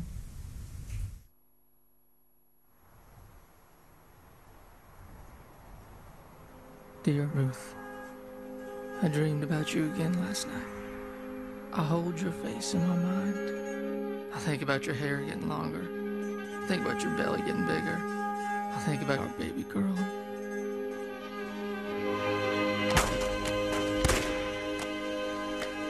Shot someone. I think I shot someone. It's gonna be okay. All you gotta do is wait for it. I'm confused, Ruth. I don't know why you kids did what you did. What do you want to do now? I'm gonna wait for him. It's gonna be all over the news later. Thought best you hear this from a friend. Hear what? I know you know I'm out, and I hope you know I'm coming for you. Just like I always said. I'll put an end to all this right now, all by myself. All I'd have to do is tell the truth. Whatever it is you've done, when I see you with your daughter, all I see is good. Maybe I'm just fooling you. People talk about regret. but I haven't got any. I traveled high and far, and now I'm close. I'm so close to you, I can almost reach out and touch your cheek.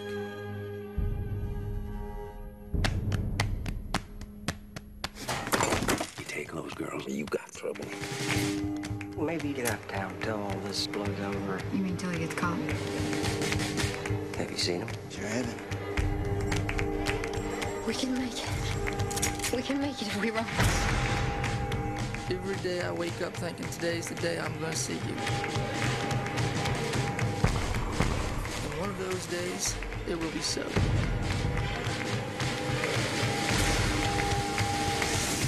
And then we can ride off to somewhere.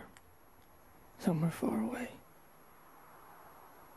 Πολύ συγκινητική ταινία φαίνεται να είναι η Κυριακή και ε, έχω την εντύπωση ότι εκτός από, το, από την ένταση που έχει, την πολλή ένταση που έχει, θα πέσει και πολύ κλάμα.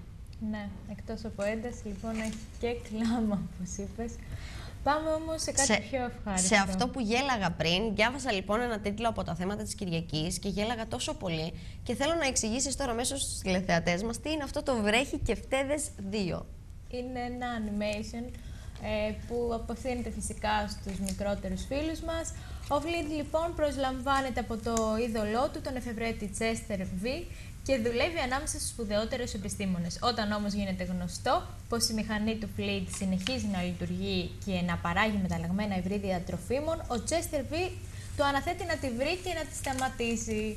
Θέλω όμως να δούμε το τρέιλερ της ταινίας αυτής και επιστρέφουμε.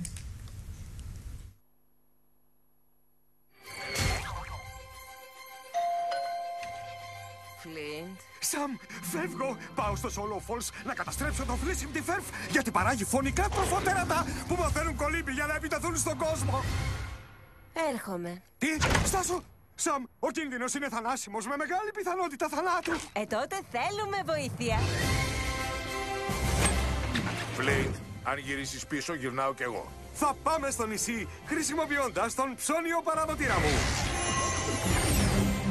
Τα λέμε, γενναίε συνεργάτη μου. Θα πάμε. Δουλεύει! Μπανάνα, μπανάνα. Ια! Εντάξει, θα πάμε με καράβι. Σπίτι, σπίτι, σπίτι, σπίτι, σπίτι.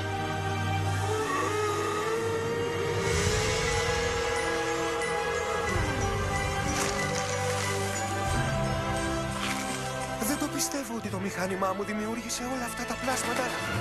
Είναι τόσο όμορφα. Είναι γαριμπατζίδες! Φλαμέγκο. Οχ, τι είναι αυτό εκεί πέρα! Μια απλή ντομάτα είναι. Φέτος... Όχι, όχι! Και εμένα μ' αρέσουν. Στρίβε. Όχι, όχι, όχι. Στρίβε. Άστο. Άστο. Στρίβε. Όχι, όχι. Γιατί μιλάω με μια πίκλα; Αν διψάτε για περιπέτεια... Κουράγιο, παιδιά! Μας έπιασαν στα πράσα! Και αν έχετε όρεξη να σώσετε τον κόσμο... Σε λέγει από το φόβο της! Τότε ετοιμαστείτε να φάτε καλά. Θα μας φάει λάκανο! Βρέχει και φτέβες 2. Γαριμπατζής. Γαριμπατζής. Γαριμπατζής.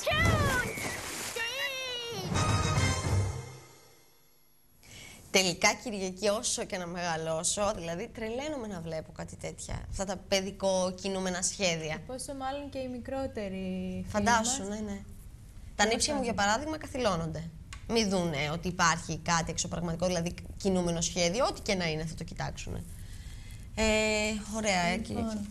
Πάμε όμως σε ένα άλλο θέμα. Ξε- Γνωρίζουμε όλοι ότι οι γάτες είναι 7 ψυχές. Όμως η συγκεκριμένη, αγα- η συγκεκριμένη γάτα ξεπέρασε τον εαυτό της καθώς Νικολέτα πέρασε και τις 7 ζωές. Πήγε και στην 8η. Ακούστε λοιπόν φίλοι μου, ένας εξαιρετικά τυχερός γάτος ε, μπορεί να εξαντλήσει και τις 7 ζωές του καθώς υπέζησε από ένα βέλος βαλίστρας που δέχθηκε στο κεφάλι. Ο τετράχρονος τυχερός στην ατυχία του γάτος ονόματι Μουμου αναμένεται να αναρρώσει πλήρως καθώς το βέλος πέρασε ξιστά αλλά δεν ακούμπησε τον εγκέφαλό του και δεν προκάλεσε παραδόξως και σοβαρές βλάβες. Βλέπουμε εδώ και τις εικόνες που το βέλος πέρασε στο- ε, από τον γάτο Από το- τη το μία κεφάλι μεριά του, στην ναι. άλλη και ζει ακόμα. Και όμως ζει. Οι αρχές μάλιστα της Νέας Ζηλανδίας που σημειώθηκε το περιστατικό έχουν ξεκινήσει έρευνες για να βρούνε το δράστη του συγκλονιστικού περιστατικού που καταράκωσε την ιδιοκτήτρια του Μουμού Ντόνα Φεράρι. Στην αρχή νόμιζα ότι τον είχαν χτυπήσει με παιδικό παιχνίδι, αλλά όταν γύρισε είδα ότι το βέλος είχε μπει μέσα στο κρανίο του, είπε η κυρία Φεράρι. Μόλις προσπάθησα να κάνω ένα βήμα, κοντά του προσπάθησε να το βγάλει το βέλος ε, στο σκαλοπάτι και μετά τρέξε στους θάμνους. Έχω αηδιάσιας, ελπίζουμε ότι ο υπεύθυνος θα συλληφθεί. Τέλος καλό όμως, όλα καλά σχεδόν ε, λοιπόν για τον Μουμού και την ιδιοκτήτριά του και θα είναι όλα πραγματικά καλύτερα μόλις οι αρχές της Νέας Ζηλανδίας καταφέρουν να συλλάβουν ε, τον λογικά ψυχικά διαταραγμένο δράστη. Ε, να- για να καταλάβω κάτι, μπορούμε να δούμε ξανά τη φωτογραφία που ποζάρει η ιδιοκτήτρια με, τη- με τον γάτο; Είναι εύκολο; Γε- Κάθεται και χαμογελάει. Αυτή ακριβώς τη φωτογραφία. Α, είναι γιατρός. Και γιατί χαμογελάει ενώ το γατάκι έχει το γάτο, έχει το βελάκι στο κεφάλι; Α, γιατί το Καταφέρει, έβγαλε. ναι, και Συγγνώμη, έβγαλε αλλά το- ήταν το σούπερ από κάτω και δεν το παρατήρησα. Να είναι καλά λοιπόν το γατάκι. Πέρασε και στην 8η ζωή, να περάσει και στην 9η, να μην του συμβεί τίποτα. Πάμε όμως ε, σε μια φάρσα που έκανε ο γνωστός φαρσέρ, Έξω από Tom εμάς. Maid, Έξω από εμάς. όπου λέει είδανε το χάρο με τα μάτια τους οι, όσοι ήταν παρευρισκόμενοι εκεί πέρα. Ε, δεν είναι και ό,τι πιο συνηθισμένο να, βλά, να βλέπεις τον χάρο μπροστά σου και μάλιστα μέρα μεσημέρι. Έτσι δεν ήταν καθόλου δύσκολο να την πατήσουν οι κάτοικοι ε, στο Louisville του Κέντακι με τη φάρσα του Tom Maid εν ώψη του Halloween. Ο διάσημος λοιπόν Φαρσέρ αποφάσισε να προετοιμάσει το έδαφος για τους εορτασμούς των Αμερικάνικων αποκριών στις 31 Οκτωβρίου, δημιουργώντας ένα τηλεκατευθυνόμενο ομοίωμα του χάρου που προκάλεσε πανικό σε πάρκα, γήπεδα, πλατείες, δρόμου και, δρόμους και σχολεία. Ο Tom Maid τρέχει τη δική του εκπομπή με τίτλο Made in America στο δίκτυο CMT. Χαρακτηριστικό του είναι ότι ποτέ δεν αποκαλύπτει τους τρόπους με τους οποίους υλοποιεί τις φάρσες του, όπως και αυτή τη φορά κρατώντας κρυφό το μυστικό του ακόμα μια φορά στα social media. Όμως θέλω να δούμε και τη φάρσα και επιστρέφουμε.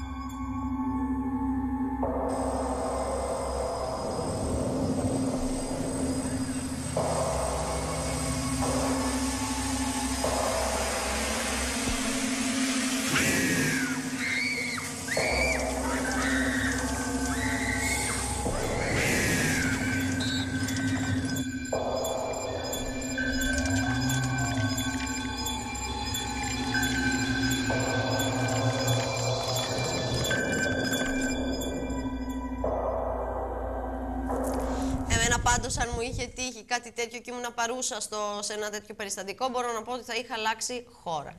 Αυτό. Θα ήθελα να κλείσω έτσι το θέμα εγώ. Αν θες να προσθέσεις κάτι άλλο. Κρατήθηκα λιγάκι με τη... Δηλαδή, φαντάσου να κάθεσαι σε μια πλατεία, χαλαρά, χαλαρά με την παρέα σου και να σου έρθει αυτό το πράγμα πάνω από το κεφάλι σου.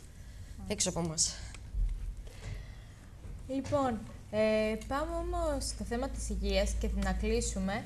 Ε, γιατί η γυμναστική βοηθάει ακόμα μια φορά και στην όσφρησή μας. Τα ωφέλη λοιπόν της συστηματικής γυμναστικής είναι πολλά, ανάμεσα στα οποία φυσικά, ε, φυσικά, τώρα έγινε γνωστό αυτό, γιατί έγινε μια συγκεκριμένη έρευνα που αφορά την ενδυνάμωση της όσφρησης. Νέα έρευνα αποδεικνύει πως μέσω της γυμναστικής αποφεύγεται η μείωση της όσφρησης. Οι περισσότεροι άνθρωποι, Νικολέτα, με το πέρας των χρόνων αρχώνονται για το γεγονός ότι θα γεράσουν, θα, θα, θα κάνουν Ζαρώσει το δεσμίδες, δέρμα. Ναι, και τα λοιπά, αλλά δεν αρχώνονται για την όσφρησή τους. Όμως, ε, έχει αποδειχθεί με έρευνα ότι ένας στους τέσσερις άνω των 50 ετών εμφανίζουν πρόβλημα στην όσφρησή τους. Αυτό όμως δεν είναι τι άγχους, αλλά αφορμή για να ξεκινήσουν να γυμνάζονται, καθώς νέα μελέτη, από νέα μελέτη διαπιστώθηκε πως η συστηματική γυμναστική μπορεί να αποτρέψει την αποδυνάμωση της όσφρησης. Η έρευνα δημοσιεύτηκε στο περιοδικό JAMA Otaronilnogy Head and Neck Surgery. Συμμετείχαν συνολικά 1.600 εθελοντές ηλικίας άνω των 50 ετών. Κανένας από τους συμμετέχοντες δεν αντιμετώπιζε πρόβλημα με την όσφρησή τους, όσφρησή του και οι ερευνητές που παρακολου... τους παρακολούθησαν για 10 χρόνια συνολικά και αναδιαστήματα έλεγχαν την οσφαιρητική τους ικανότητα. Καθ' όλη τη διάρκεια της έρευνας, το 28% των εθελοντών παρουσίασε διαταραχή της όσφρησης. Τα αποτελέσματα επίσης έδειξαν ότι ε, περι- όσο περισσότερο γυμνάζεται κάποιος, τόσο λιγότερες είναι οι πιθανότητες να εμφανίσει ένα οσφαιρητικό πρόβλημα. Οπότε η άσκηση, έστω και μια, μια μόνο φορά τη βδομάδα, μπορεί να, α- να βοηθήσει ώστε να αποφευχθεί ο κίνδυνος να μειωθεί η όσφρησή μας. Άρα να μην ενδιαφέρομαστε μόνο για τις ρητίδες στο πρόσωπο και οι γυναίκες αλλά και οι άντρες γιατί το τελευταίο καιρό και οι άντρες ενδιαφέρονται για το αν θα ζαρώσει λίγο το δερματάκι τους κάτω από τα μάτια αλλά να ασχολούμαστε και λίγο με την όσφρηση. Ε, ναι, δηλαδή να κάνουμε γυμναστική και για αυτό το λόγο. Και για πολλούς άλλους λόγους γιατί η γυμναστική βοηθάει παντού, Κυριακή. Και κάπου εδώ εμείς φτάσαμε στο τέλος. Παρασκευή σήμερα, η εβδομάδα τελείωσε. Εμείς θα είμαστε μαζί σας ξανά από Δευτέρα. Ακολουθεί η εκπομπή ένας τρελός τρελός κόσμος με τον Κώστα Βετινάκη και την Άννα Μορφούλη. Να πούμε χρόνια πολλά στους Δημήτριδες που γιορτάζουν αύριο και στις Δήμητρες και στους Μίτσους, όπως είπε πριν η συνάδελφος Ελένα Θεοδόρου. Να πω και εγώ προσωπικά χρόνια πολλά στον ξάδερφό μου τον Δημήτρη. Χρόνια σου πολλά Δημήτρη. Ε, εσύ έχεις κανένα Δημήτρη να στείλεις χρόνια πολλά; Όποιοι και να έχω, χρόνια σας πολλά. Λοιπόν. Χρόνια λοιπόν πολλά σε όλους. Δεν έχω κάποιον. Δεν έχεις. Να έχετε ένα όμορφο και καλό Σαββατοκύριακο, να ξεκουραστείτε όπως προσπαθούμε να ξεκουραστούμε και εμείς. Εμείς θα τα πούμε στη, στη, τη Δευτέρα, ραντεβού στις 9. Από όλους εμάς να έχετε ένα όμορφο μεσημέρι και ένα όμορφο Σαββατοκύριακο.